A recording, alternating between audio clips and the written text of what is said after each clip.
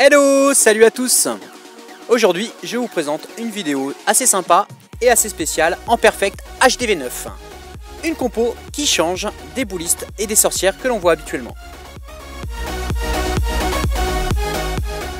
Donc pour réaliser cette attaque, il vous faudra 4 guérisseuses pour faire votre Queen Walk, 9 bébés dragons, 5 Valkyries, un CDC avec des ballons, des troupes pour clean et pour funnel et des sapeurs pour entrer, 4 rages, un poison et un sort de précipitation. L'objectif numéro 1 sur cette attaque va être de poser le Queen Walk, à savoir la reine et les 4 guérisseuses.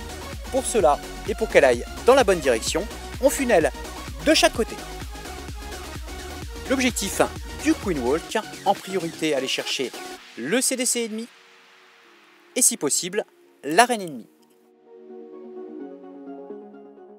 Une fois le premier objectif atteint, on peut lancer donc le roi et les Valkyries.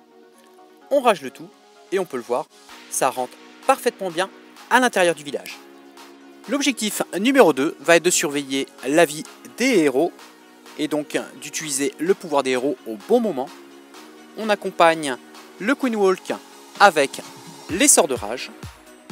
Pendant que les défenses sont occupées avec les héros au centre du village, on envoie les ballons et les bébés dragons tout autour afin de cleaner un maximum de bâtiments.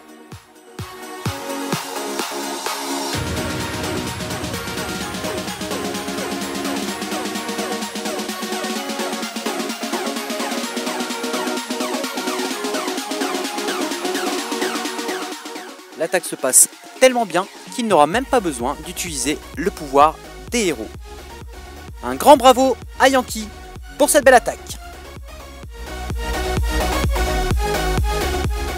Nous voilà à la fin de ce gameplay, j'espère que cette vidéo vous a plu. N'oubliez pas de vous abonner à notre chaîne YouTube et à lâcher un pouce bleu. Pour ma part, je vous dis à très vite pour de nouvelles vidéos et vive la meute